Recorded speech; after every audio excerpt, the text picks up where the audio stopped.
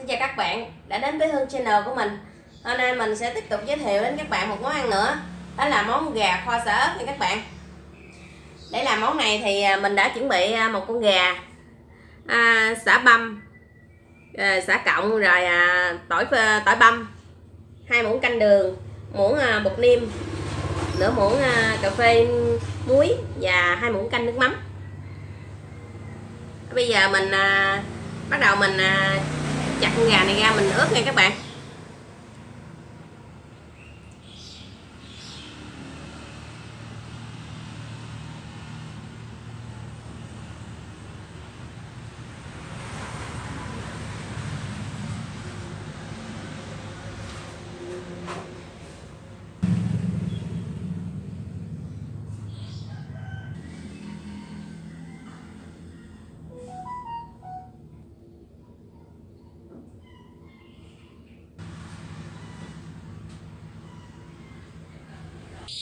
Giờ mình cắt gà nha các bạn. Mình cắt cũng à, miếng à, nhỏ nhỏ thôi. Tại vì mình kho mà.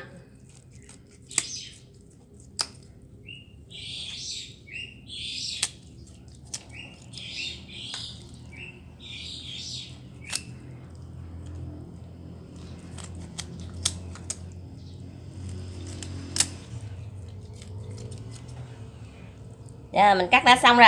Giờ mình đi à, ướp nó thôi.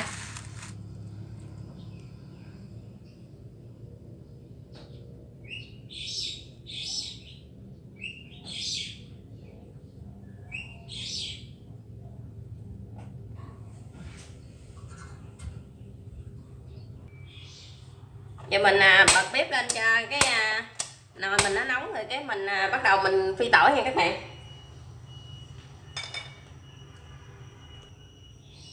Rồi bây giờ mình cho dầu vô.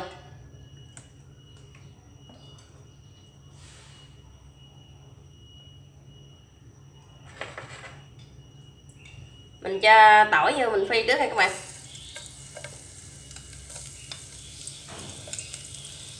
Cho luôn một miếng à, xả băm luôn.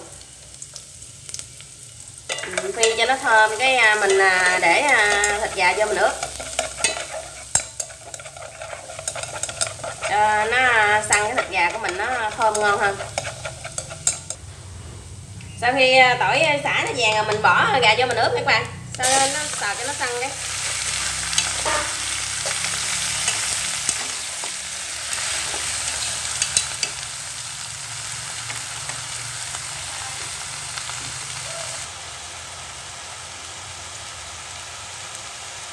Gà mình đã xào xăng rồi, giờ mình cho gia vị vô mình ướp nha các bạn.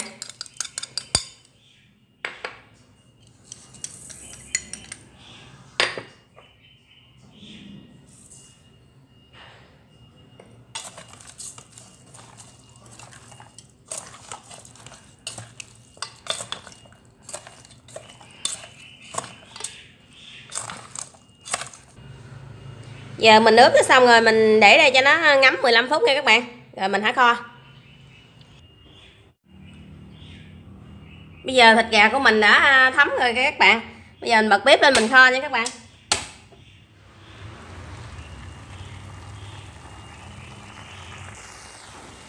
Nó, à, Giờ là gà nó đã à, săn quá rồi các bạn. Giờ mình cho xíu nước màu các bạn. Xíu thôi.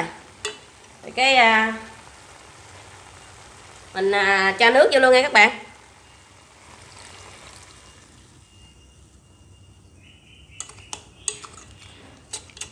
Đúng rồi. Bây giờ mình à, đậy nắp lại nha các bạn. Mình kho lửa riêu riêu thôi nha các bạn. Gà mình kho nó sôi ột ột thơm quá rồi các bạn.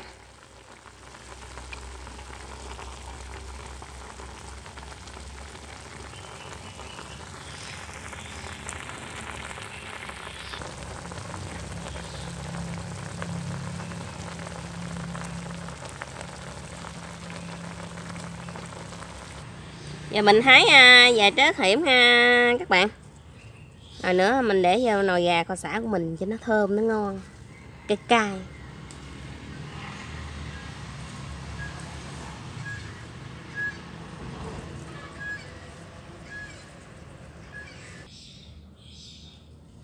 Rồi nhiêu đầy đủ rồi các bạn